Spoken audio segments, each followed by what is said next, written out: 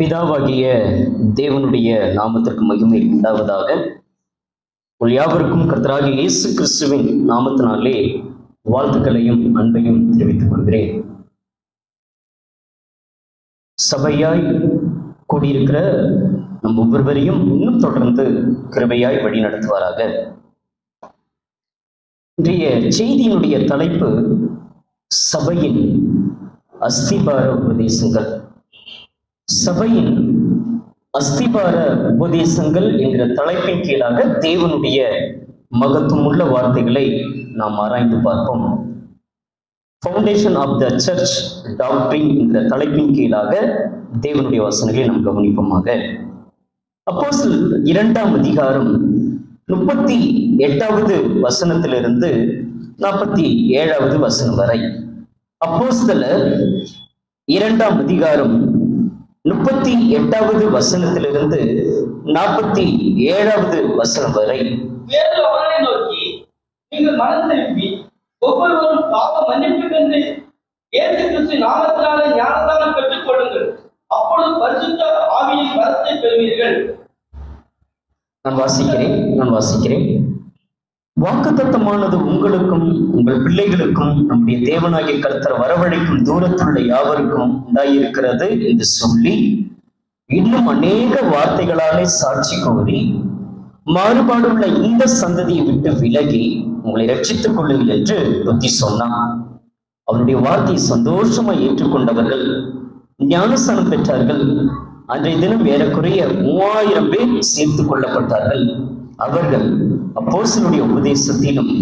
அந்யோனியத்திலும் அப்பம் விற்கதிலும் ஜபம் பண்ணுவதிலும் உறுதியாய் தரித்திருந்தார்கள் எல்லோருக்கும் பயம் உண்டாயிற்று அப்போசனர்களாலே அநேக அற்புதங்களும் அடையாளங்களும் செய்யப்பட்டது விசுவாசிகள் எல்லோரும் ஒருமித்து இருந்து சகலத்தின் பொதுவாய் வைத்து அனுபவித்தார்கள் காணியாட்சிகளையும் ஆஸ்திகளையும் விற்று ஒவ்வொருவருக்கு தேவையானதுக்கு தக்கதாக அவைகளில் எல்லோருக்கும் பகிர்ந்து கொடுத்தார்கள் அவர்கள் ஒருமனப்பட்டவர்களாய் தேவ ஆலயத்தில் அனுதினம் தரித்திருந்து வீடுகள் தோறும் அப்பம் விட்டு மகிழ்ச்சியோடு கபடமில்லாத இருதயத்தோடு போஜனம் பண்ணி தேவனை துதித்து ஜனங்கள் எல்லோரிடத்திலும் தயவு பெற்றிருந்தார்கள் ரட்சிக்கப்படுகிறவர்களை கர்த்தர் அனுதினமும் சபையிலே சேர்த்து கொண்டு வந்தார் ரட்சிக்கப்படுகிறவர்களை கர்த்தர் அனுதினமும் யார் சேர்க்கிறார் என்றால் கர்த்தர் சபையிலே சேர்க்கிறார் என்று நாம் பார்க்கிறோம் சபையினுடைய அஸ்திபாரம் உபதேசம் என்ன அந்த சபையினுடைய அஸ்திபாரமே கிறிஸ்து தான் அந்த சபையினுடைய அஸ்திபாரமே கிறிஸ்து தான் அந்த சபையினுடைய சரீரமே கிறிஸ்து தான் அந்த சபையினுடைய தலைவரே கிறிஸ்து தான் அந்த சபையினுடைய மெய்ப்பரே கிறிஸ்து தான் என்பது சந்தேகம் இல்லை இப்படியாக இருக்கும் பொழுது இயேசு கிறிஸ்து ஊழியம் செய்யும் பொழுது இந்த மனுஷ மனுஷர்கள் என்னை குறித்து என்ன சொல்லுகிறார்கள் என்கிற ஒரு கேள்வினை எடுக்கும் பொழுது வாசித்து பாருங்கள் மத்திய கருதன சுவிசேஷம் பதினாறாம் அதிகாரம் பதிமூன்றாவது வசனம் மத்திய கிருதன சுவிசேஷம் பதினாறாம் அதிகாரம் பதிமூன்றாவது வசனம் என்னை மனுஷகுமாரனாகிய என்னை ஜனங்கள் யார் என்று சொல்லுகிறார்கள் என்று கேட்டார்கள் அதற்கு சிலர் உமை யோவான் ஸ்நானகன் என்றும் சிலர் எளியார் என்றும் வேறு சிலர் எரியமியா அல்லது தீர்க்கதரிசிகளில் ஒருவர் என்று சொல்லுகிறார்கள் என்றார்கள் அப்பொழுது அவர் நீங்கள் என்னை யார் என்று சொல்லுகிறீர்கள் என்று கேட்டார் சீமோன் பேதர் பிரதியுத்தரமாக நீர் ஜீவனுள்ள தேவனுடைய குமாரனாகிய கிறிஸ்து நீ ஜீவனுள்ள தேவனுடைய குமாரனாகிய கிறிஸ்து அந்த சபையினுடைய அஸ்திபார அந்த உபதேசத்தை பார்க்கும் பொழுது எவ்வளவு ஒரு ஆணிதரமான ஒரு வார்த்தையை வைக்கிறார் ஒவ்வொரு வீட்டுக்கு போனா ஒவ்வொரு கொள்கைகள் இருக்கும் கணவருடைய பேச்சை கேட்கிறவர்கள் அல்லது கணவருக்கு எதிர்த்து நிற்கிறவர்கள் அல்லது மனைவி பேச்சை கேட்கிறவர்கள் அல்லது பிள்ளைகளுடைய பேச்சை கேட்கிறவர்கள் இப்படி ஒவ்வொரு குடும்பங்களிலும் ஒவ்வொரு கொள்கைகள் உண்டு ஒவ்வொருவருடைய வாழ்க்கையினுடைய நடைமுறை உண்டு ஆனால் சபையில இருக்கக்கூடிய அந்த அஸ்திபாரமே அதனுடைய உபதேசமே என்ன என்கிற தலைப்பின் கீழாகத்தான் நாம் இன்றைக்கு தேவனுடைய வசனங்களை நாம் பார்க்க போகிறோம் அப்போ சில இரண்டாம் அதிகாரம் பதினாலாம் வசனத்திலிருந்து பதினேழாம் வசனம் வரை இதோ பேதரும் மூலமாக சபையை கட்டுவதை வேதாகமத்தில் இயேசு கிறிஸ்து சொல்லி இருக்கிறதை நாம் பார்க்க முடியும் மத்திய கருதன சுவிசேஷம் பதினாறாம் அதிகாரம் பதினெட்டாவது வசனத்திலே மேலும் நான் உனக்கு ஒன்று சொல்லுகிறேன் நீ பேதருவாய் இருக்கிறாய் இந்த கல்லின் மீது என் சபையை கட்டுவேன் பாதாளத்தின் வாசல்கள் அதை என்ன செய்வதில்லை என்றால் மேற்கொள்வதில்லை பாபானத்தினுடைய வாசல்கள் அதை மேற்கொள்வது இல்லை நீ பேதர்வாயிருக்கிறாய் இந்த கல்லின் மீது பேதர்வுக்கு அர்த்தம் யாதென்றால் பாறை கல்லு இந்த பேதர்வை கொண்டு எதை கட்டப் போகிறார் என்றால் சபையை கட்டப் போகிறார் அப்படி கட்டிதான் அங்கிருந்து தொடங்குறது நம்ம படிச்சோம் இல்லையா அப்போ சில இரண்டாம் அதிகாரம் அதனுடைய ஒன்றாம் வசனத்திலிருந்தே இயேசு கிறிஸ்துவை காண்கிறார் இயேசு கிறிஸ்து இதோ அவர் பரலோகத்திலே போவதை சீடர்களை காண்பு கொண்டிருக்கிறார்கள் அதாவது அப்போ சொல் பார்க்கிறாங்க இயேசு கிறிஸ்து பரலோகத்திற்கு எடுத்துக்கொள்வதை யார் பார்க்கிறார்கள் என்றால் சீஷர்கள் பார்க்கிறார்கள் அதனாலதான் வேதாந்தத்தில் வாசிக்கும் பொழுது அப்போசருடைய உபதேசத்திலும் அவர்கள் உறுதியாக தரித்திருந்தார்கள் அப்போசருடைய உபதேசம் யாது என்றால் அது இயேசு கிறிஸ்துனுடைய உபதேசம் இயேசு கிறிஸ்துடைய உபதேசம் யாருடைய என்றால் அது தேவனுடையது என்பதை நாம் மறந்துவிட வேண்டாம் அப்போ சில இரண்டாம் அதிகாரம் பதி நாலாவது வசனத்திலிருந்து பதினேழாவது வசனம் வரை இப்பொழுது பேதரு அந்த பெந்தே கோஸ்து அந்த ஐம்பதாவது நாளிலே அங்கு கூடியிருக்கக்கூடிய இடத்திலே இப்பொழுது பரிசுத்த ஆவியாளர் வந்து இது அங்கு ஜனங்களிடத்துல பேசுவதை நாம் பார்க்க முடியும் இஸ்ரேல் ஜனங்களுடைய மனம் திரும்புதலை நாம் அந்த இடத்துல நாம் பார்க்க முடியும் அப்பொழுது பேதர் பதினோரோடு கூட நின்று அவர்களை நோக்கி உரசத்த சத்தமாய் யாருக்கு சொல்கிறார் என்றால் யூதர்களே அந்த வார்த்தை கவனிச்சீங்களா பேதரு மூன்று காரியங்களாக சொல்லப்பட்டிருக்கிறது யூதர்களே என்று தொடங்குகிறார் இருசிலேமில் வாசம் பண்ணுகிற ஜனங்களே நீங்கள் எல்லோரும் அறிந்து கொள்வீர்களாக என் வார்த்தைக்கு செவி கொடுங்கள் நீங்கள் நினைக்கிறபடி இவர்கள் எல்லாருமே மதுபானம் பண்ணினவர்கள் அல்ல அதாவது வெறி கொண்டவர்கள் என்று சொன்னால் மதுபானம் பண்ணினவர்கள் அல்ல இவர்கள் போதை வசதிகளை போட்டவர்கள் அல்ல என்று சொல்லி பொழுது விடிந்து மூன்றாவது மணி வேலையாயிருக்கிறது இருக்கிறது தீர்க்கதரிசியாக யோகியில் உரைக்கப்பட்டபடியே இது நடந்திருக்கிறது என்று இயேசு கிறிஸ்துவை குறித்து அங்கு சொல்லி வரக்கூடிய காரியங்களை நாம் பார்க்க முடியும் அந்த பெந்தகோஸ்து நாளிலே முதன் முதல் தன்னுடைய நற்செய்தியை அந்த அஸ்திவாரத்தை அங்கு தமது இஸ்ரவில் ஜனங்கள் இஸ்ரவில் ஜனங்களாய் இருந்தாலும் கிறிஸ்தவர்களாய் மாற வேண்டும் இஸ்மவேல் ஜனங்களாய் இருந்தாலும் கிறிஸ்தவர்களாய் மாற வேண்டும் கடவுளே இல்லை என்று சொன்னாலும் கிறிஸ்தவர்களாய் மாற வேண்டும் ஏதோ விக்கிரகங்களை பணிந்து கொள்கிறவர்களாய் இருந்தாலும் அவர்கள் எதனை வர வேண்டும் என்றால் கிறிஸ்தவர்களாய் வர வேண்டும் இப்பொழுது யாருக்கு சொல்கிறார் என்றால் இஸ்ரேலருக்கு சொல்லுகிறார் யூத ஜனங்களுக்கு சொல்லுகிறார் என்ன உபதேசம் சொல்லுகிறார் இதுவரைக்கும் ஒரு கொள்கையில இருந்தவங்க இதுவரைக்கும் ஒரு ஓய்வு நாளில ஆராதனை செய்வங்க இப்பொழுது வாரத்தின் முதல் நாளிலே ஆராதனை செய்வதை நாம் பார்க்க முடியும் இதுவரைக்கும் ஞானஸ்தானம் பெறாதவர்கள் எப்பொழுது பாவம் மன்னிப்புக்கென்று திருமுழுக்கை பெறுவதை நாம் பார்க்க முடியும் அப்போ அப்பாசனுடைய உபதேசம் என்பதை நாம் பார்க்க முடியும் அந்த சபையினுடைய அஸ்திபார உபதேசம் பேதர் மூலமாக தொடங்குகிறதை பார்க்க முடியும் இது இஸ்ரவேலர்களுக்கு மாத்திரமல்ல யாருக்கு இரண்டாவதாக அப்போஸ்தல எட்டாம் அதிகாரம் பதினாலாவது வசனத்திலிருந்து அப்போஸ்தல எட்டாம் அதிகாரம் பதி நாலாவது வசனத்திலிருந்து சமாரியர் தேவ வசனத்தை ஏற்றுக்கொண்டதை எரிசிலேமுள்ள உள்ள அப்போஸ்தலர்கள் கேள்விப்பட்டு பேதிருவையும் யோவானையும் அவரிடத்தில் அனுப்பினார் பேதர்வை கொண்டு என்ன சொன்னாரு நீ பேதுருவாய் இருக்கிறாய் இந்த கல்லின் மீது என் சபையை கட்டுவேன் ஒரு அஸ்திபாரம் உறுதியா இருந்தால் அந்த வீடு வந்து நிலைச்சு நிற்கும் ஆசிரியர்கள் தங்களுடைய வேலையை சரியாய் செய்தால் மாணவர்கள் சிறப்பாக இருப்பார்கள் குடும்ப தலைவனும் குடும்ப தலைவியும் சரியாக நடத்துவார்கள் என்றால் அந்த குடும்ப கட்டமைப்பு அருமையாக இருக்கும் ஒரு வேலை செய்கிற இடத்துல ஒரு எஜமான் சரியாக இருப்பார் என்றால்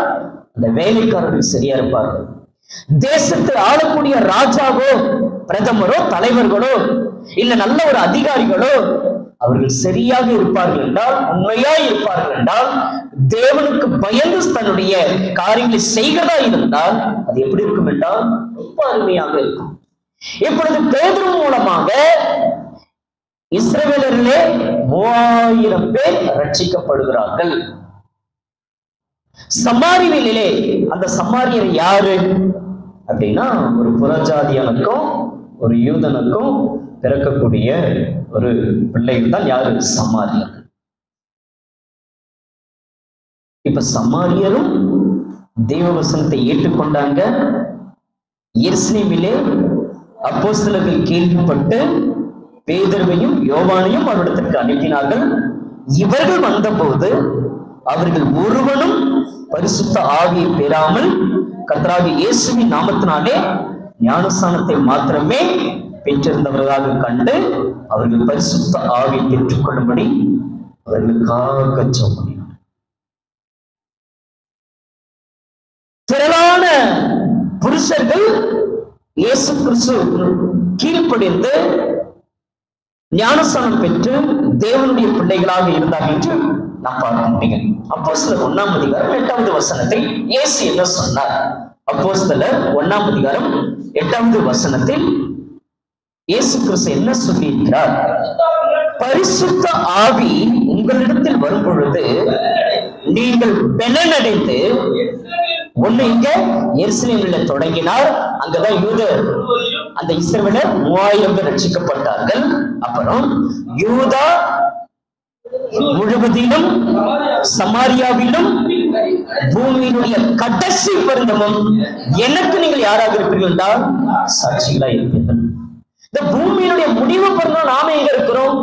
பூமிக்கு வெளியே இருக்கிறோமா பூமியினுடைய கடைசியில் இருக்கிறோமா அல்லது நம்முடைய இந்தியாவினுடைய கடை முனை மட்டும் நம்ம இருக்கிறோம் இல்லையா கன்னியாகுமரியில இந்த மாவட்டத்துல நம்ம வாழ்கிறோம் இல்லையா அப்ப பூமியினுடைய கடைசி பிறந்தமும் நீங்கள் எனக்கு சாட்சி என்று சொன்னார் இல்லையா அப்போ பேதுருவின் மூலமாக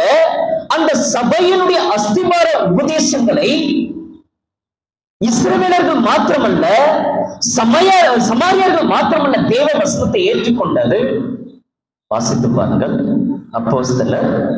பத்தாம் அதிகாரம் அதனுடைய ஒன்னிலிருந்து வீட்டிலிருந்து நீங்கள் அதை பார்த்தீர்கள் என்றால் இருபத்தி எட்டாவது வசனம் வாசிங்க அப்போ பத்தாம் அதிகாரம் இருபத்தி எட்டாவது வசனம்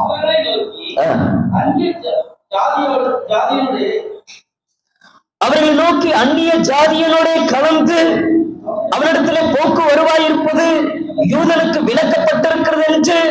நீங்கள் அறிந்திருக்கிறீர்கள் அப்படி இருந்தும் எந்த மனுஷனையும் தீட்டு உள்ளவன் என்றும் அசுத்தம் என்றும் நான் சொல்லாதபடிக்கு தேவனே என்னை என்ன செய்தார் என்றால் எனக்கு காண்பித்திருக்கிறார் தொடர்ந்து வேதாகமத்திலே நாம் பார்க்கும் பொழுது பதிமூன்றாவது வசனம் அப்போ சிலர் பத்தாம் அதிகாரம் பதிமூன்றாவது வசனத்தில் பேதுருவே எழுந்திரு அதித்து புசி என்று அவனுக்கு சொல்லும் ஒரு சத்தம் உண்டாயிற்று அதற்கு அவர் சொல்லுகிறார் பேதுரு ஆண்டவரே அது தீட்டு அது அசுத்தம் யாதொன்றையும் நான் ஒரு காலம் புசித்ததில்லை என்று சொல்கிறார் தேவன் சொல்லுகிறார்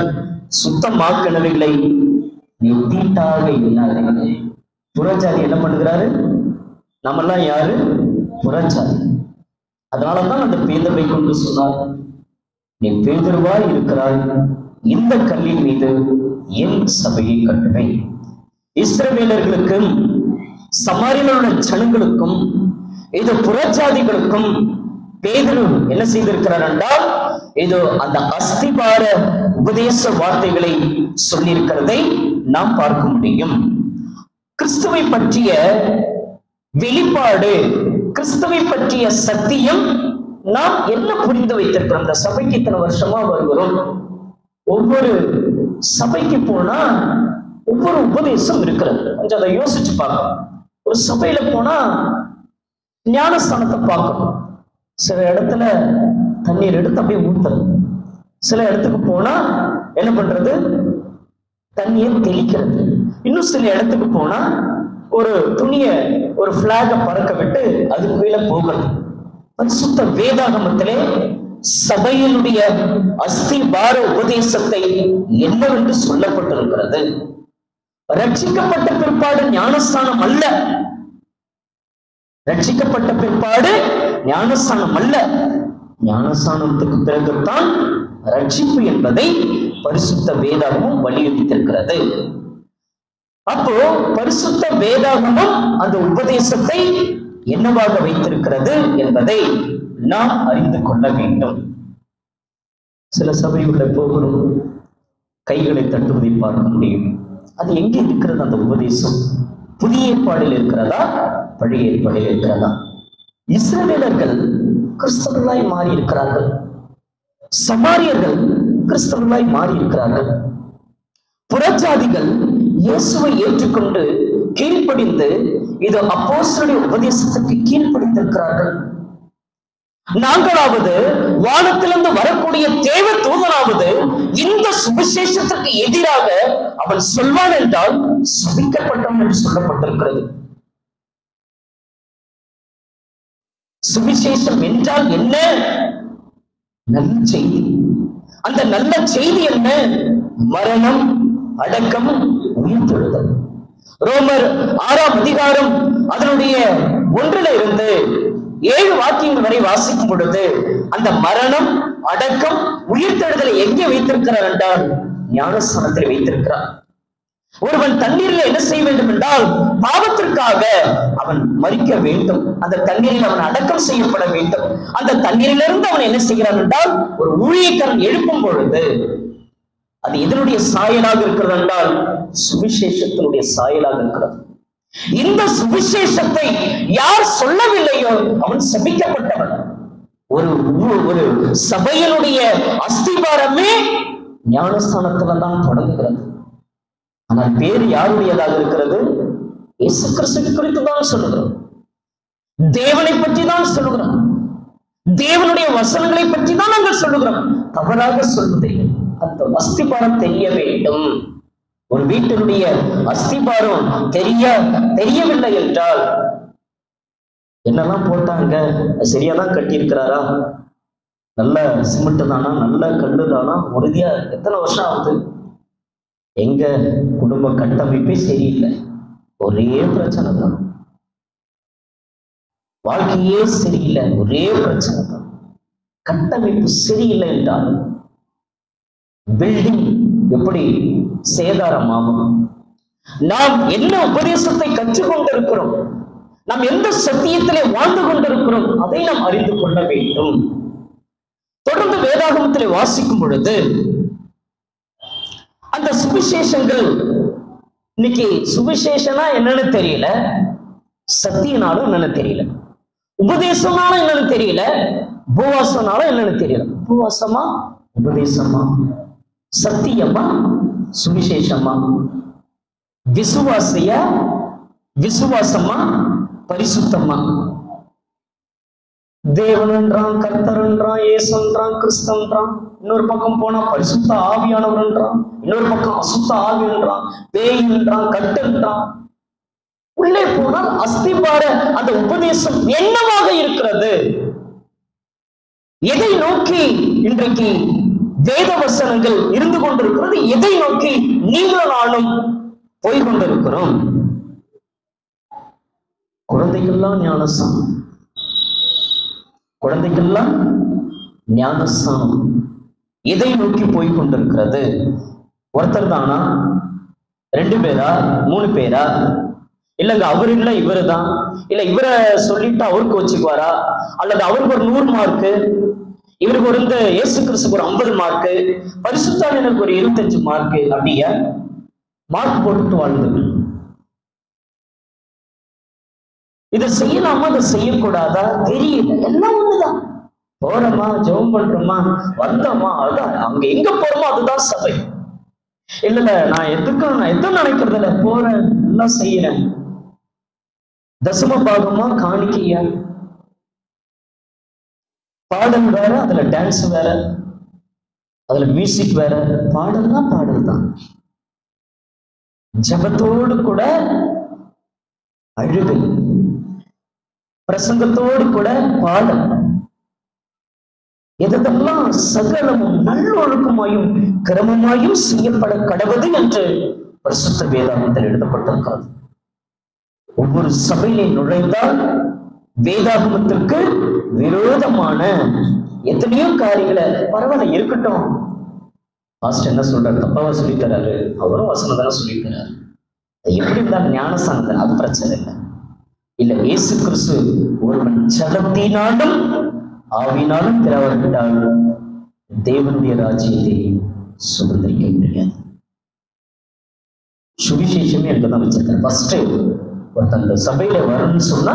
அந்த சபைக்கென்று என்ன இருக்கிறது உபதேசம் இருக்கிறது என்னுடைய உபதேசம் இல்லை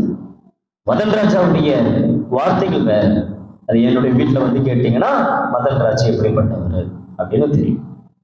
ஆனா இங்க நீங்க கேட்டீங்கன்னா இது என்னுடைய வார்த்தை இல்லை விளைவின இருக்குது பிரச்சனை இருக்குது போராட்டம் இருக்குது கஷ்டம் இருக்குது குறை இருக்குது அதை கொடுங்க இதை கொடுங்க வாங்கி கேட்கிற இடம் அல்ல இது யாருடைய சமூகம் என்றால் தேவனுடைய சமூகம் இங்கே இருந்து தேவனுடைய வசனம் கிடைக்கும் ஒரு சில வார்த்தைகளை சொல்லி நான் ஜபிக்க ஆசைப்படுகிறேன் எபேசர் இரண்டாம் அதிகாரம் அந்த சபையினுடைய அஸ்திபார உபதேசங்களை குறித்து நாம் இப்பொழுது வேதாகமத்திலே அப்போ சில இரண்டாம் அதிகாரம் முப்பத்தி எட்டுல இருந்து நாற்பத்தி ஏழு வசனம் வரை நாம் வாசிக்க கேட்டோம் அல்லவா அதே போல எபேசர் இரண்டாம் அதிகாரம் பதினெட்டுல இருந்து இருபத்தி ரெண்டு வசங்கள் வரை நாம் பார்ப்போமாங்க எபேசியர் இரண்டாம் அதிகாரம் பதினெட்டாம் வசனத்திலிருந்து இருபத்தி இரண்டாம் வசனம் வரை புதிய ஏற்பாடுல பக்கம் இருநூற்றி அறுபத்தி ஐந்தாவது பக்கம் அந்தபடியே நாம் இருதர இருதரத்தாரும் யாரு இஸ்ரவேலராய் இருக்கட்டும் புறச்சாதிகளாக இருக்கட்டும் இவர்கள் என்ன செய்தார் என்றால் இப்ப இவர்கள் இருவரையும் அவர் ஒன்றாக்கி விட்டார் இஸ்ரவேலரையும் நல்லா புரிஞ்சுதா இஸ்ரவேல் அறியும் அதனால இஸ்ரவேல் நியாய பிரமாணம் இயேசு கிறிஸ்துக்குன்ற முடிவு என்று பார்க்கிறோம் அந்த நியாய பிரமாணத்தினுடைய எல்லா சடங்காச்சாரங்களையும் பாரம்பரியங்களையும் கிறிஸ்துவ கிட்ட கொண்டு வரக்கூடாது புறச்சாதிகளுடைய பாரம்பரியங்களையும் சடங்காச்சாரங்களையும் இயேசு கிறிஸ்துவத்தில் கொண்டு வரக்கூடாது கல்யாணத்தில் எடுத்தா பாரம்பரியம் சடங்காச்சாரம் குழந்தை பிறந்துடுச்சுன்னா அந்த சடங்காச்சாரம் பாரம்பரியம் ஒரு பெண் வயதுக்கு வந்து விட்டால் அந்த சடங்காச்சாரம் பாரம்பரியம் திருமணத்தை தொடங்கி பிள்ளை பாக்கி வந்து வயசாகி அந்த இறந்து போகிற வரைக்கும் மண்ணுல போய் கொண்டு போய் அடக்கணம் செய்கிற வரைக்கும் சடங்காச்சாரமும் பாரம்பரியமும் தேவையில்லை அதுதான் சபையினுடைய அஸ்திபார பிரதேசம் இது தெரியாத வரைக்கும் நீங்களும் நானும் என்ன செஞ்சுட்டு இருப்போம் அழுது கொண்டு தெரியல எல்லாம் ஒண்ணுதான் அப்படின்னு நினைச்சிட்டு இருக்கோம் மேலும் என்ன சொல்லுகிறது பாருங்களேன் அந்தபடியே நாம் இருதரத்தாலும் ஒரே ஆவினாலே பிதாவினத்தில் சேரும் சாத்தியத்தை அந்த அவர் யாரென்றால் இயேசுவின் மூலமாய் பெற்றிருக்கிறோம் ஆகியால் நீங்கள் இனி அந்நியர் கிடையாது பரதேசி இல்ல இப்பொழுது நாம் யாராக இருக்கிறோம் என்றால் பரிசுத்தவான்களோடு கூட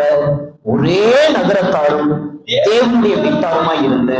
அப்போஸ்தலர்கள் தீர்க்கதரிசி என்பவர்களுடைய அஸ்திபாரத்தின் மேல் கட்டப்பட்டுமா இருக்கிறீர்கள் அதற்கு இயேசு கிறிஸ்து தாமே மூளைக்கல்லா இருக்கிறார் அவர் மேலே மாளிகை முழுவதும் இசைவாய் இணைக்கப்பட்டு கர்த்தருக்குள் பரிசுத்த ஆலயமாக எழுப்புகிறது அவர் மேலே நீங்கள் அதனாலே தேவனுடைய வாசஸ்தலத்தை கூட்டி கட்டப்பட்டு வருகிறீர்கள் இப்ப பதினோருல இருந்து அந்த இஸ்ரவேலர்கள் அந்த புறஜாதி அவர்களை குறித்து அந்த அப்போசனாகிய பவுளுடைய புரிதல் பரிசுத்த ஆவியானவர் எந்த அளவுக்கு இயேசு கிறிஸ்து சொன்ன வார்த்தையை தெளிவுபடுத்துகிறார் என்பதை நாம் பார்க்க போகிறோம் பதினோராம் வசனத்திலிருந்து பேசிய இரண்டாம் அதிகாரம் பதினோராம் வசனத்திலிருந்து நாளே நான் வாசிக்கிறேன் முன்னே மாமிசத்தின்படி புறஜாதியாராய் இருந்து மாமிசத்தினாலே கையினாலே செய்யப்படுகிற விருத்த சேதனம் உடையவர்களால் விருத்த சேதனம் இல்லாத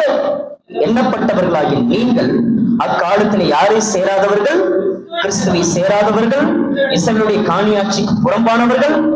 தத்துவ உடன்படிக்கைக்கு அந்நியர் நம்பிக்கை இல்லாதவர்கள் இவ்வுலகத்திலே தேவன் அச்சவர்களாயிருந்தல் என்று நினைத்துக் கொள்ளுங்கள் முன்னே தூரமாயிருந்த நீங்கள் இப்பொழுது கிறிஸ்து இயேசுக்குள்ளாக கிறிஸ்துவின் சரத்தினாலே சமயமானீர்கள் எப்படினில் அவரே நம்முடைய சுமாதான காரணராகி இரத்தரத்தாரையும் ஒன்றாக்கி பாத்தீங்களா இரந்தரத்தாரையும் ஒன்றாக்கி அப்ப இது தரத்தானா யாரு இஸ்ரவேலரும் புறஜாதியரும் யாராக வேண்டும் என்றால் ஒன்றாக வேண்டும் பகையாக நின்ற நடுச்சுவரை தகர்த்து சட்டத்திட்டங்களாகிய நியாய பிரமாணத்தை தம்முடைய மாமிசத்தினாலே ஒழித்து ஒழிச்சிட்டார் நியாய பிரமாணத்தில் உள்ளதை ஒழிச்சிட்டார் நம்ம என்ன பண்ணிட்டு இருக்கோம்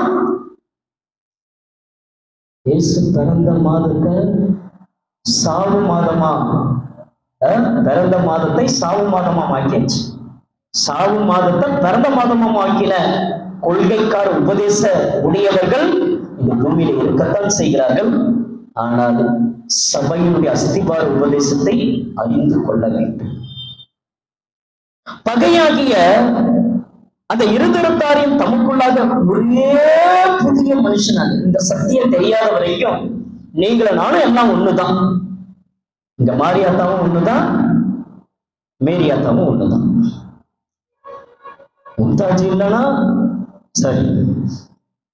மரியாதை இல்லை என்றால் மும்தாஜ் வருவாங்க மும்தாஜி இல்லை என்றால் மாரியம்மா வருவாங்க யாராவது ஒருத்தர் வருவாங்க ஆனா என்ன சத்தியத்தை தெரிந்து கொண்டிருக்கிறோம் எந்த பாரம்பரியங்களும் எந்த சடங்காச்சாரங்களும் உள்ளே நுழைந்து கொண்டிருக்கிறது இதற்கு எதிராக நீங்கள் நானும் இந்த சபையினுடைய அஸ்திபார உபதேசங்களுக்கு எதிராக நாம் நிற்கக்கூடாது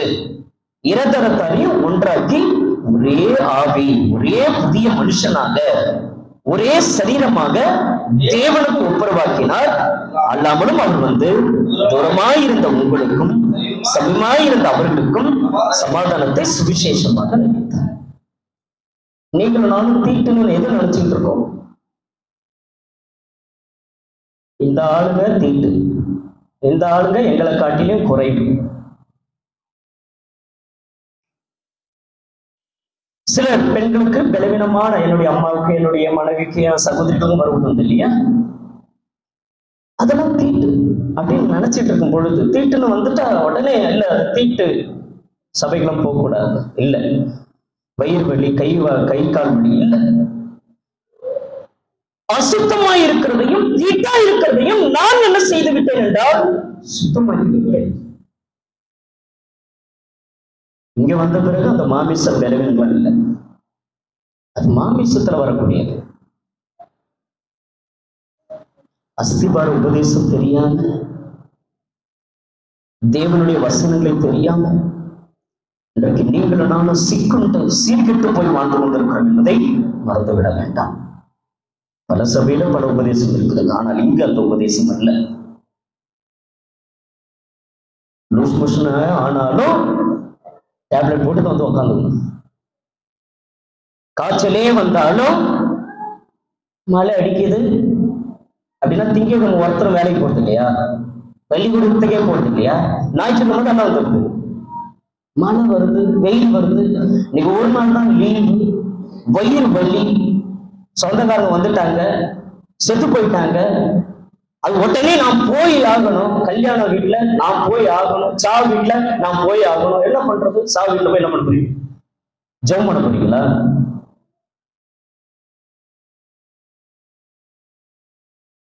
சபையினுடைய அஸ்திபாரம் தெரியாமல் ஜனங்கள் அநேக காரியங்களை விழுந்து இங்க போட்டிருக்கு இல்லையா என்ன நினைவு கூறும்படி இது செயல் என்று கொடுத்த அந்த கட்டளையானது அந்த வார்த்தையானது நீ எங்க இருந்த ஃபர்ஸ்ட் என் புறஜாதியா இருந்த நான் சுத்தமாக்கிட்டேன் தீட்டு அசுத்தம் நினைச்சிட்டு இருந்தது என்ன சுத்தமாக்கிட்டேன் சுத்தமாக்கி வச்சிருக்க இடத்துல நீ இப்ப எங்க போற நினைக்கிற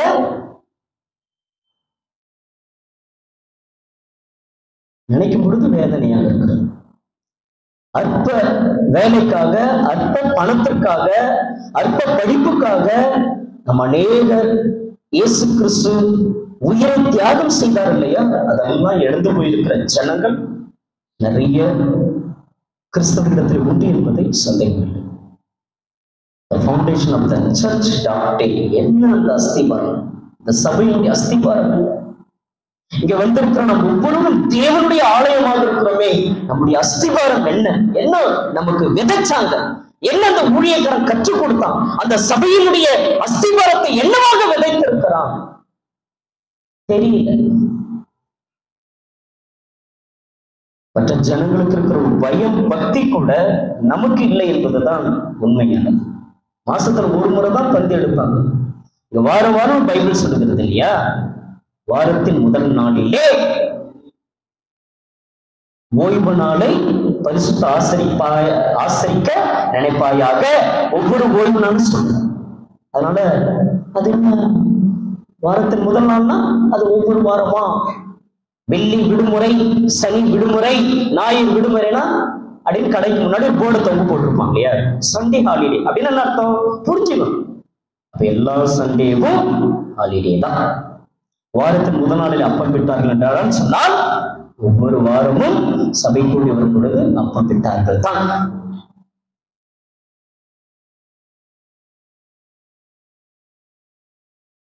விளையாட்டு தினமும் ஆயிடுச்சு இன்னைக்கு ஆன்லைன் பிரசங்கம் தொடங்கியாச்சு போன்பே ஜிபே பேடிஎம்ன்ற மாதிரி இன்னைக்கு காணிக்க அதில் போட ஆரம்பிச்சாச்சு சபையுடைய அஸ்திவாரங்கள் தெரியவில்லை உள்ளே நுழைஞ்சால் வருஷத்த ஆவியானுடைய அனுபவம் நமக்கு இருக்கிறதா என்று கேட்கிறேன் அங்க காத்தறிவு அப்படின்னு சொல்லி அங்க ஒரு நாளெல்லாம் அமர வச்சு எத்தனையோ காரியங்களை நம்ம பார்க்க முடியும் அக்னி அபிஷேகம் அபிஷேகம்னா என்ன அக்னினா என்ன தெரியல ஆவியில அபிஷேகம் அந்நிய பாஷை பிரதஷ்டை ஜீவியம் இருக்கிறதா வல்லமை அடைவதற்குரிய இருக்கிறதா பிசாச விரட்டணும் வியாதிய சுகமாக்கணும் ஜபத்துல பெயரை சொல்லணும் அந்த மாதிரி ட்ரெண்ட் இன்றைக்கு பூமியில பெருகி போயிடுச்சு ஏன்னா நம்ம எல்லாம் அங்கிருந்து வந்தவங்க அந்த சடங்காச்சாரத்துல இருந்து பாரம்பரியத்துல வந்ததுனால எப்படி அப்படி உடுக்க அடிச்சா அப்படி பல்ல நர நரனும் கட்டிச்சுக்கிட்டு டே அப்படின்னு கத்துற மாதிரி இங்கேயும் அப்படி ஆயிடுச்சு பயம் இல்லை பக்தி இல்லை பிரசுத்தம் இல்லை ஆனால் தேவனுடைய மனது எந்த அளவுக்கு தூஷிக்கப்படுகிறது அதனால தான் நம்ம அப்போ சில இரண்டாம் அதிகாரத்திலிருந்து அந்த சபையினுடைய அஸ்திபார உபதேசத்தை நாம் அறிந்து கொள்ள வேண்டும் கையை நீட்டுறது விரல் அப்படி காட்டுவது உழல்வது எவ்வளவு கீழே டப்புன்னு விழுவது இதெல்லாம் ஒருத்தருக்கு முன்னாடி செஞ்சு பாருங்களேன் டம்முன்னு உருள்வது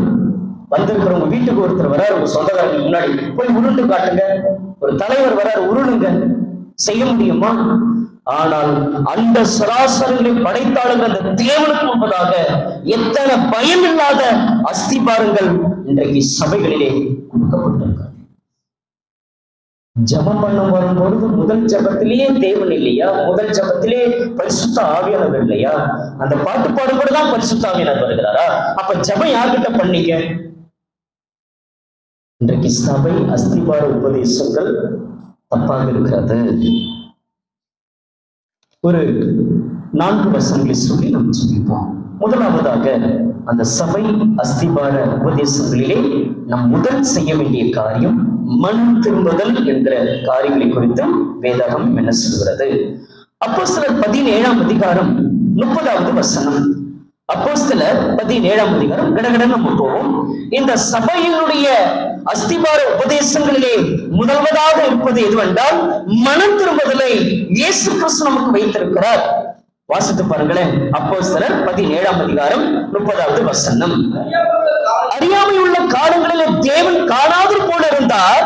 இப்பொழுதே மனம் திரும்ப வேண்டும் என்று எங்கும் உள்ள மனுஷருக்கும் கட்டளையிட்டிருக்கிறார் எத்தனை பேர் மனம் திரும்பி இருக்கிறோம் நீங்கள் மனம் திரும்பாமல் போவீர்களானால் அப்படியே கெட்டு போயிடுவீர்கள் ஞானஸ்தானம் எடுக்கும் போது மன திரும்புதல் இருந்தது ஆனா ஞானஸ்தானம் எடுத்ததுக்கு அப்புறம் அந்த மன திரும்புதலுக்குரிய ஜீவியங்கள் எத்தனை பேர் காண்பித்துக் கொடுத்திருக்கிறோம் இல்லையே என்ன அந்த இடத்துல நான் ஒப்பந்தம் பண்ண ஞானஸ்தானத்துல யார் வந்து உங்களை தடுத்து நிறுத்தினது அப்ப சரிதான மனம் திரும்புதல் அந்த இடத்துல இல்லை ஏசையா முப்பதாம் அதிகாரம் பதினைந்தாம் வசனத்திலே நீங்கள் மனம் திரும்பி அமர்ந்திருந்தால் ரட்சிக்கப்படுவீர்கள் என்று பரிசுத்த வேதாகம் சொல்லுகிறது மத்திய கடந்த சுவிசேஷம் பதினெட்டாம் அதிகாரம் மூன்றாவது வசனம் மத்திய கடந்த சுவிசேஷம் பதினெட்டாவது அதிகாரம் மூன்றாவது வசனம் நீங்கள் பிள்ளைகளை போல ஆகாவிட்டால் வாசிங்க நீங்கள் மனம் திரும்பி பிள்ளைகளை போல ஆகாவிட்டால் பரலோக ராஜ்யத்தில் என்ன செய்ய மாட்டீங்க பிரவேசிக்க மாட்டீங்க சபையினுடைய அஸ்திபார உபதேசங்களிலே முதலாவதாக நாம் அறிந்து கொள்வது மனம் திரும்புதல் எத்தனை நாளைக்கு மனம் திரும்புதல் எத்தனை பேருடைய வாழ்க்கையில் குடும்ப சமம் இருக்கிறது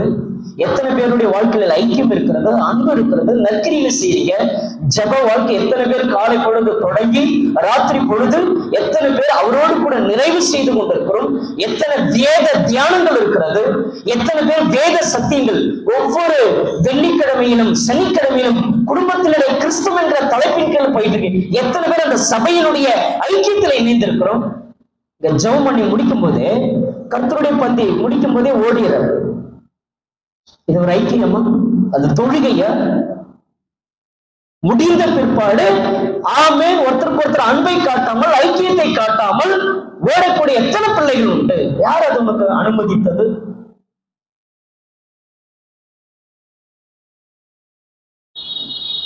அப்ப எதுக்கு வரணும்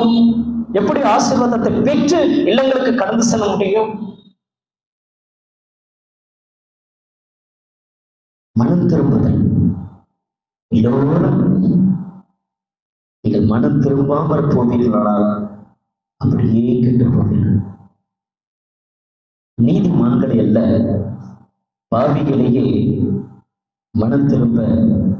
அழைக்க வந்தேன் என்று இயேசு கிறிஸ்து சொல்லிப்பார் தலையை திருப்பினா திருப்பிடலாம் கையை திருப்பினா திருப்பிடலாம் மனசு திரும்பவே மாட்டேங்குது இன்னைக்கு வரைக்கும்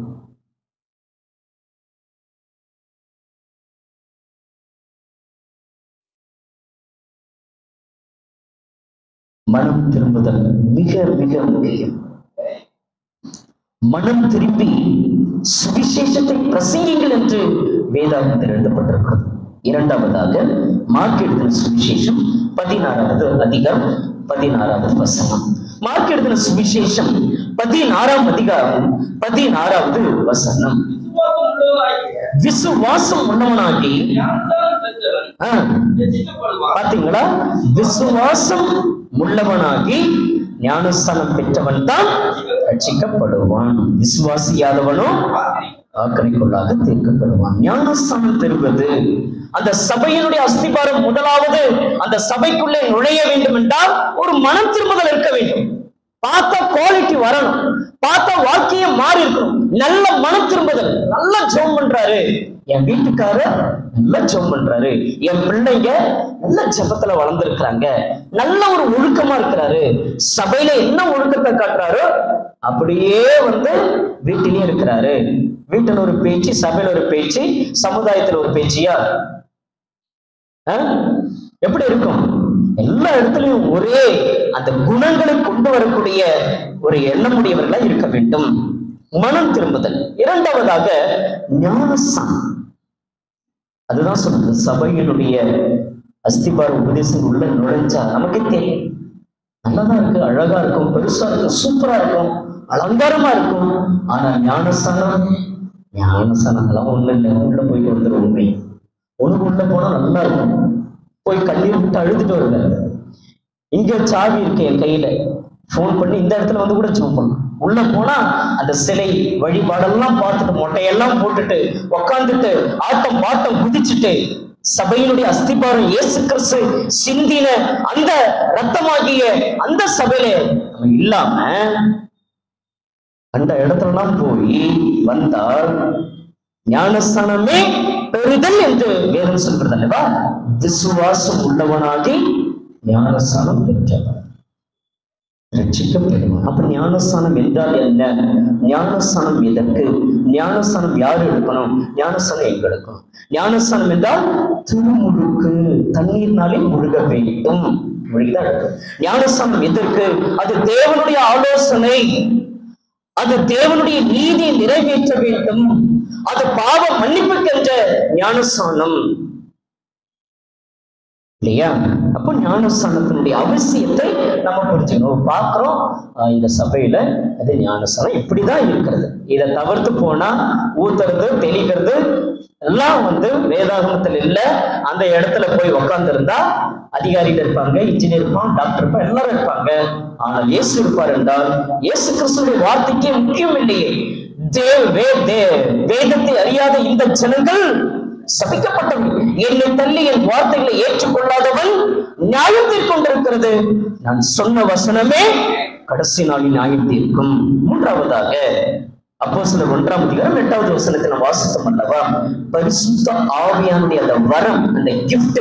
எத்தனை பேர் வாங்கி இருக்கிறீங்க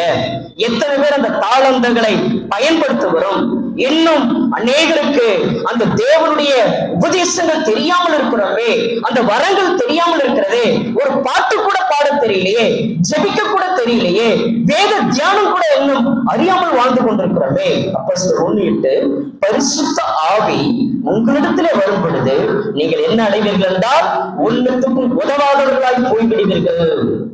நல்ல சினிமாய் பார்ப்பீர்கள் அப்படின்னு போட்டிருக்கு நல்ல வாட்ஸ்அப்லேயே வாழ்ந்து கொண்டிருப்பீர்கள் நல்ல இன்டர்நெட்லேயே வாழ்ந்து கொண்டிருப்பீர்கள் அப்படின்னு போட்டிருக்கு நல்ல வேலை செய்கிற காரியங்களிலும் நல்ல படிப்பின் காரியங்களிலும் உலக சம்பந்தங்களில் பெருப்பீர்கள் போட்டிருக்கிறது பரிசுத்த ஆவி வந்தா நீங்க என்ன அடைவீர்கள்டா தண்டல் என்ன பேரல் மற்றவனை அடிக்கிறதுக்கா மற்றவனை திட்டுறதுக்கா என்ன பேரல் என்ன பெலர் ஒன்று குருந்தியர் பதினான்காம் அதிகாரம் அதனுடைய வசனங்களிலிருந்து எங்கள் வீடுகளிலிருந்து மன்னிக்கவும் ஒன்று குருந்தியர் பன்னிரெண்டாம் அதிகாரம் அதனுடைய நாலாம் வசனத்திலிருந்து நம்ம படிக்க முடியும் வரங்களிலே வித்தியாசங்கள் உண்டு ஆவியானவர் ஒருவரே அவர் என்னெல்லாம் கொடுக்கிறாரு அந்த ஆவியானவர் ஒருவனுக்கு ஆவினாலே ஞானத்தை போதிக்கும் வசனம் மறந்து போச்சு ஐயா தெரிய மாட்டேங்குது ஐயா கேட்கல ஜபம் பண்ணும் அவர் பலம் அடைய வைப்பார் வேறவர்களுக்கு அந்த ஆவியினாலே அறிவை உணர்த்த வசனமும் வேறவர்களுக்கு அந்த ஆவியினாலே விசுவாசமும் வேறவர்களுக்கு அந்த ஆவியினாலே குணமாக்க வரங்களும் வேறவர்களுக்கு அற்புதங்களை செய்யக்கூடிய சக்தியும் வேறவர்களுக்கு தீர்க்க தரிசனம் உரைத்தலும் வேறவர்களுக்கு ஆவிய பகுத்தறிவிலும் வேறவர்களுக்கு பற்பல பாசையில பேசுவதிலும் வேறவர்களுக்கு பாசையில வியாக்கரம் பண்ணுவதிலும் இப்படிதான் சொல்லப்பட்டது என்ன கிஃப்ட் பயன்படுத்திட்டு இருக்கோம் அன்னையில இருந்து இன்னைக்கு வரைக்கும் அந்த கிஃப்ட் அப்படியே தான் இருக்கு வாங்கின அந்த பரிசுத்த ஆவியானுடைய வரம் பிதா குமாரன் பரிசுத்த ஆவி நாமத்தினாலே ஞானஸ்தானம் பெற்றுக் கொள்ளுங்கள் அப்பொழுது பரிசுத்த ஆவியானுடைய வரத்தை பெறுவீர்கள் அப்படின்னு சொன்னாங்க இல்லையா பரிசுத்த ஆவியானுடைய வரம் கிடைச்சதா கிஃப்ட் யாராவது வாங்கணுமா எங்களுக்கு கம்பெனில இருந்து கொடுப்பாங்க பள்ளிக்கூடத்துல இருந்து கொடுப்பாங்க காலேஜ்ல இருந்து கொடுப்பாங்க சொந்த பந்தங்கள்ல இருந்து கொடுப்பாங்க கொடுக்குறாங்க இல்லையா சொந்த பாருங்கள்லாம் பெரிய பெரிய நமக்கு கொடுக்குறாங்களே அவமான சின்னங்கள் எல்லாம் போதாதா எவ்வளவு திருந்தினாலும் எவ்வளவு அடிப்பட்டாலும் எனக்கு பரிசுத்தாவினர்கிட்ட இருந்து என்ன வேண்டாம் தரவே வேண்டாம் நாம சொல்ல வேண்டியதெல்லாம் மற்றவர்கள் பரிசுத்தாவினர் கொண்டு வாங்கிட்டு நமக்கு என்ன கொடுத்திருக்கிறார் அந்த சபையினுடைய அஸ்திபாரம் மனம் திரும்பு ஞானஸ்தானம் பெரு பரிசுத்த ஆவியானவருடைய வரம் அந்த கிஃப்டை கொள்ள வேண்டும் எனக்கு தாங்க என்னை எதுக்கு இந்த உலகத்துல வச்சிருக்கு என்னை வைத்திருக்கிற ஒரு நோக்கம் என்ன திட்டம் என்ன சித்தம் என்ன அது எனக்கு தெரியப்படுத்துங்க நான் என்ன செய்யணும் நான் இங்க ஒருத்தர் இந்த இடத்துலயே நான் உட்கார்ந்து இருக்கிறது அல்ல பேதர் சரியில்லைன்னு சொன்னா பவுல் வருவார் இல்லையா பவுல் சரியில்லைன்னு சொன்னா இன்னொரு ஊழியக்காரர் வருவார் நீங்களும் சரியில்லைன்னு சொன்னாலும் நாம் அந்த கட்டமைப்பு உபதேசத்திலே என்னவாக வாழ்ந்து கொண்டிருக்கிறோம் இரண்டு குழந்தையர் ஆறாம் அதிகாரம் பதினாலாவது வசனத்திலிருந்து பதினெட்டாவது வசனம் வரை இரண்டு குழந்தையர் நான்கு ஆறாம் அதிகாரம் பதினாலாவது வசனத்திலிருந்து இதை எதை விட்டு பிரிய சொல்கிறார் என்றால் மாறுபாடுள்ள சந்ததி விட்டு விலக வேண்டும் இங்க பாருங்க பதினாலாவது வசனத்திலிருந்து என்ன சொல்லுகிறாரு அந்நிய நுகத்திலே அவிஸ்வாசிகளோடு கூட பிணைக்கப்படாதிருப்பீர்களாக யாரோடு கூட பிணைக்க கூடாது யாரோடு கூட பிணைக்க கூடாது விசுவாசியோடு கூட பிழைக்க கூடாது நீதிக்கும் அநீதிக்கும் சமம் ஏது ஒளிக்கும் இரளுக்கும் ஐக்கியம் ஏது கிறிஸ்துவுக்கும் பேலியாவுக்கும் இசைவேது அவ்விசுவாசியோடு விசுவாசிக்கு பங்கு ஏது தேவனுடைய ஆலயத்திற்கும் விக்கிரங்களுக்கும் சம்பந்தம் ஏது நான் அவர்களுக்குள்ளே வாசம் பண்ணேன் அவர்களுக்குள்ளே உணாவி அவர்கள் தேவனாயிருப்பேன் அவர்களின் ஜனங்களாயிருப்பார்கள் என்று தேவன் சொன்னபடி நீங்கள் தான் ஜீவனுள்ள தேவனுடைய ஆலயமாய் இருக்கிறீர்கள் ஒருவன் தேவனுடைய ஆலயத்தை கெடுத்தால் அவரை தேவன் கெடுத்தார் ஆனபடியாலே நீங்கள் அவர்கள் நடுவில் இருந்து புறப்பட்டு பிரிந்து போய் அசுத்தமானதை பார்த்தீங்களா எங்க வச்சிருக்கிறார் பாருங்க தேவனுக்கு பிரிவில்லாத காரியங்கள் எல்லாம் நீங்க எதை செய்ய வைக்கிறீங்களோ அதெல்லாம் தேவனுக்கு சுத்தம் அல்ல அதெல்லாம் தேவனுக்கு அசுத்தம் மாறுபாடுள்ள சந்ததி விட்டு விலக வேண்டும் இன்னும் வந்து ஒட்டிக்கிட்டு இருக்குது அவர் அதுதானே சுத்தமாக்கிட்டார் உன்னை சுத்தமாக்கித்தானே உன்னை மன திரும்புதலை கொடுத்து வைத்திருந்தாரு திரும்பவும் நாம போய் விடலாமா என்று சொன்னால் நம்ம எச்சரிக்கையாக இருக்க வேண்டும் அப்பொழுது நான் உங்களை ஏற்றுக்கொண்டு உங்களுக்கு பிதாவா இருப்பேன் நீங்கள் எனக்கு குமாரரும் குமார்த்திகளாய் இருப்பீர்கள் என்று சர்வ வல்லவன் கர்த்தர் சொல்கிறார் நான்காவதாக வேதாந்தத்தில் வாசிக்கும் பொழுது ஐந்தாவதாக வேதாந்தத்தில் வாசிக்கும் பொழுது கொலேசின் ஒன்றாம் அதிகாரம் இருபத்தி எட்டாவது வசனம் இந்த சபையினுடைய அஸ்திபாரங்களில் இன்னொன்றாக காணப்படுவது என்னென்றால் கொலேசியர் ஒன்னு இருபத்தி எட்டு எந்த மனுஷனையும் நல்ல கவனிக்க நான் மாத்திரமல்ல படித்துக் கொண்டிருக்கிற ஒவ்வொரு சிறு பிள்ளைகளும் வாலிப பிள்ளைகளும் சகோதர சகோதரிகளும் இங்க அமர்ந்திருக்கிற ஒவ்வொரு தேவனுடைய பிள்ளைகளும் நல்ல அந்த வார்த்தை பாருங்க எந்த மனுஷனையும் கிறிஸ்து இயேசுக்குள்ளாக நாங்கள் பேர வைக்கிறோம் இயேசு பத்தி எல்லாம் தெரியும்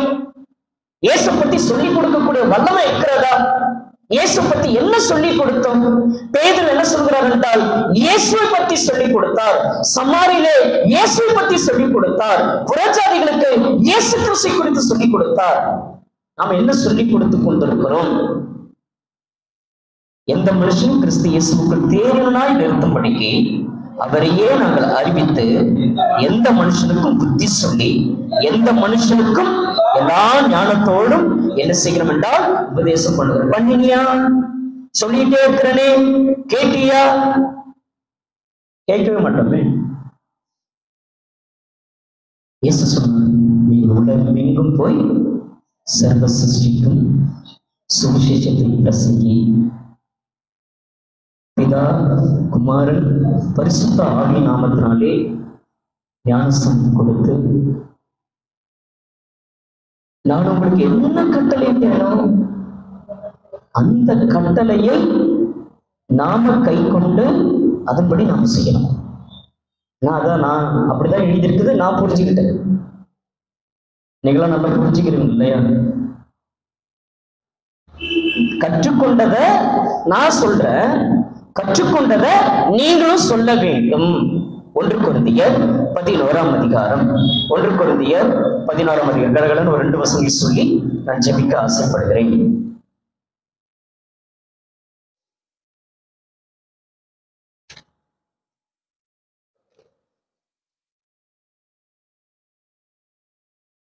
ஒன்று குழந்தையர் பதினோராம் அதிகாரம் இருபத்தி மூன்றாவது வசனம் நான் என்னன்னு உங்களுக்கு சொல்லித்தரேனோ அது இயேசு கிறிஸ்து கிட்ட இருந்து நான் என்ன செஞ்சுக்கிட்டேன் பெற்றுக்கொண்டேன்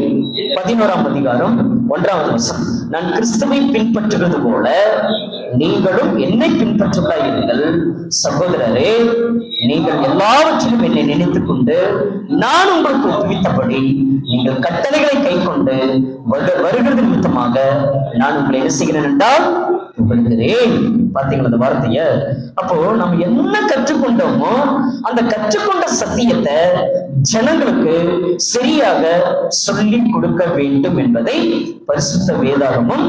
விரும்புகிறது தேவன் நம்மை விரும்புகிறார் ஒன்று யோவான் மூன்றாம் அதிகாரம் ஒன்று யோவான் மூன்றாம் அதிகாரம் மூன்றாவது வசனம் ஒன்று யோவான் ஒன்றாம் அதிகாரம் மூன்றாவது வசனம் ஒன்று யோவான் ஒன்றாம் அதிகாரம் மூன்றாவது வசனம் நீங்களும் எங்களோடு எப்படி இருக்க வேண்டும் என்றால் ஐக்கியமா நாங்க இயேசு இயேசு சொல்றா இல்லையா ஜோ பண்றா இல்லையா பிதாவும் நானும் ஆவியானவரும் ஐக்கியமா இருக்கிறது போல ஒன்றா இருக்கிறது போல சபையில இருக்கிற ஒவ்வொரு விசுவாசிகளும் எப்படிப்பட்டவர்களா இருக்க வேண்டும் என்றால் ஐக்கியமா இருக்கணும் ஐக்கியமே இல்லை என்ன இல்லை என்றால் ஐக்கியமே இல்லை எத்தனை வேறுபாடு எத்தனை வேறுபாடு என்பதை நாம் அறிந்ததுதான் நீங்களும் எங்களோடு ஐக்கியம் உள்ளவர்களாயிருக்கும்படி நாங்கள் கண்டும் கேட்டும் இருக்கிறதை உங்களுக்கு அறிவிக்கிறோம் எங்களுடைய ஐக்கியம் பிதாவோடும் அவருடைய குமாரனாகிய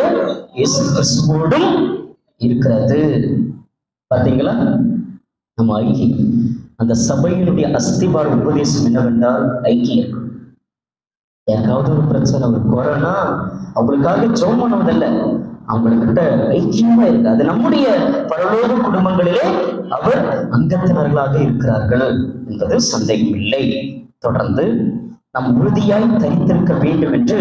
வேதாகத்தில் வாசிக்கிறோம் தொடர்ந்து எதெல்லாம் உறுதியா இருக்க வேண்டும் எதிரியர் பத்தி இருபத்தி அஞ்சிலே வாசிக்கும் பொழுது சபை கூடி வருதலை சிலை விட்டு விடுகிறது போல நம்ம என்ன வேண்டாம் என்றால் விடக்கூடாது அப்பம் விற்கதில்லை உறுதியாய் தெரிந்திருங்கள் பாட்டு பாடுவதிலே தேவனை துதிப்பதிலே உறுதியாய் தரித்திருங்கள் கர்த்தர் வரும் அளவும் இன்றைக்கு அன்பு சகோதரர் வேண்டாம் அவர்கள் பிரசங்கம் செய்தார் அல்லவா கர்த்தர் வரும் அளவும் அவருடைய மரணத்தை தெரிவிக்கிறேன் அப்புறம் உறுதியாக இருக்கணும் அந்த சபையினுடைய அஸ்திபார காரியங்களிலே நீங்கள் உறுதியாக இருக்க வேண்டும் என்று வேதம் சொல்கிறது கடைசி ஒரு வசனம் சொல்லி நான் நிறைவு செய்கிறேன் இரண்டு யோமான் ஒன்பதாம் வசனம் பத்தாவது வசனம் இரண்டு யோமான் ஒன்பதாம் வசனம் பத்தாவது வசனம் கிறிஸ்துவின் உபதேசம்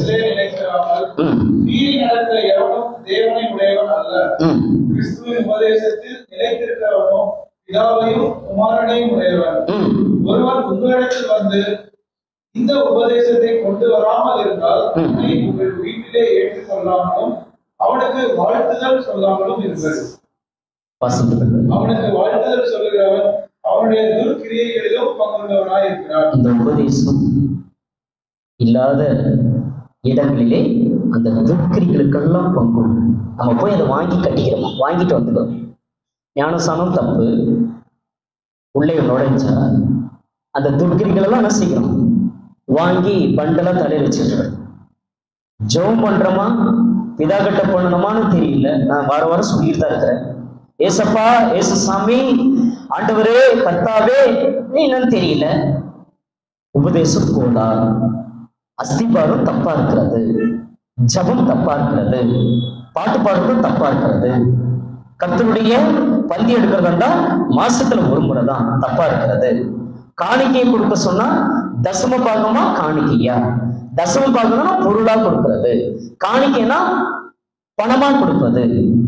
போடக்கூடிய காணிக்கையை நீங்க யாரெல்லாம் போட்டீங்களோ அது இயேசு பார்க்கிறாரு அதுல சிறுக கொடுத்தீங்கன்னா சிறுக பெருக கொடுத்தீங்கன்னா பெருக எதை எதுக்கு நீங்க அறுத்து கொண்டு இருக்கிறீங்க சபையினுடைய அஸ்திபார காரியங்களே மனம் திரும்புவதற்குள்ள காரியங்கள் இல்லாமல் இருக்கிறது என்பதை நாம் மறந்துவிட வேண்டாம் கிறிஸ்துவின் உபதேசத்தை ஒருவன் கொண்டு வராமல் இருந்தால் அவனுக்கு வாழ்த்ததிலும் சொல்லாதீங்க அவனுடைய துர்க்கிரிகளுக்கு நீங்கள் பங்காகாதீங்க நீங்கள் ஏற்றுக்கொண்டால் என்ன ஆகும் என்பதை வேதாக வைத்திருக்கிறது இல்ல அவர் ஊரெல்லாம் சுத்திட்டு நம்ம வீட்டுக்கு வந்துட்டு அவர் நம்ம வீட்டுல வச்சுட்டு போவார் எல்லாம் வேதனையும் இல்ல சக்தியும் சரியாக இருக்கட்டும் நாம் ஒரு காலத்தில் அறியாதவர்களாய் இருந்தோம் தெரியாதவர்களாய் இருந்தோம் மனம் திரும்புதல் மிக மிக முக்கியம் மனம் திரும்பின பிற்பாடு மீண்டும் அந்த பக்கமா எட்டி பார்க்கறது இல்ல ஞானஸ்தானம் மிக முக்கியமாக இருக்கிறது பரிசுத்த ஆவியானிடத்துல இருந்து வரங்களாக நாம் எதை பெற்றுக் கொண்டிருக்கிறோம் மாறுபாடான சந்ததி விட்டு விலகி விட்டோமா சிலருடைய உபதேசத்திலே நிலைத்திருக்கிறோமா ரட்சிக்கப்பட்டு தேவனுடைய பிள்ளைகளோடு கூட ஒரு ஐக்கியம் நிறைந்ததாக இருக்கிறதா சொந்தக்காரங்களோட ஐக்கியம் பக்கத்து வீட்டுக்காரங்களுடைய ஐக்கியம் ஃப்ரெண்ட்ஸுங்களோடு கூட ஐக்கியம் ஆனால் இயேசுவோடும் தெய்வ செலவுகளோடு கூட ஐக்கியம் இல்லாத இது சகோதரர் சொன்ன மாதிரி இது ஐக்கிய பந்தி ஐக்கிய பந்தி ஐக்கியத்தோடு சேர்ந்து இணைந்து பங்கு பெற வேண்டும் நாம் இதில் ஒன்றாக உறுதியாக இருக்க வேண்டும் நாம் உறுதியாக இருப்போம் இயேசு சொன்னால் என் உபதேசத்தில் நிலைத்திருந்தால் மெய்யாகவே நீங்கள் என்ன சீசனாக இருந்தீர்கள் நாம் யாபனம் எடுத்து நிற்போம் பாடலை ஒன்று பாடுவோம் இயேசுவின் நாமம் நிதான நாமம் என்ற பாடலை நாம் பாடுவோம் நாமம் நாமம் இணையில் நாமம் ஏந்தனமும் எங்கள் இயேசுவின் நாமம் இனிதான நாமம் இணையில்லா நாமம்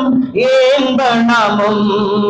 பாவத்தை போக்கும் பயமதி நீக்கும் பரம சந்தோஷம் பக்தர் கணிக்கும் பாவத்தை போக்கும் பயமதி நீக்கும் பரம சந்தோஷம் பக்தர் கணிக்கும் இயேசுவின் நாமம் இனிதான நாமம் இணையின்ன நாமம் ஏன்ப நாமம் எங்கள் இயேசுவின் நாமம் இனிதான நாமம்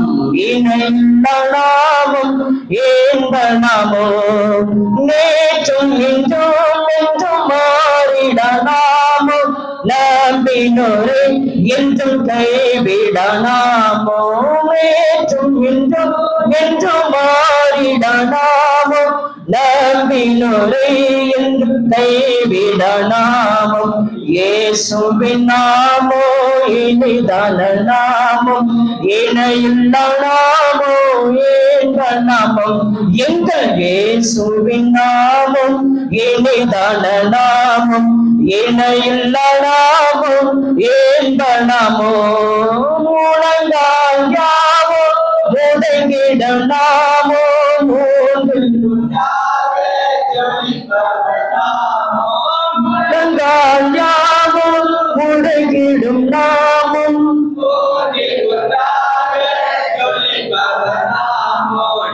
இயேசுவின் நாமும் இனிதான நாமும் இணையில்ல நாமும் இன்ப நாமும் எங்கள் இயேசுவின் நாமும் இனிதான இணையில்ல நாமும் இன்ப சாத்தானின் சேனை ஜெயித்திட்ட நாமம் சாப பிசாசை துரத்திடும் நாமும் சாத்தலின் சேலை ஜெயித்திட்ட நாமும் சாத பிசாசை துரத்திட்ட நாமம் ஏசுவின் நாமம்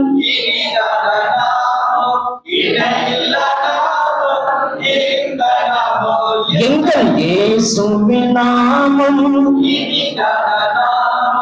இணையில்லாமும் தலைகளை நாம் தாழ்த்து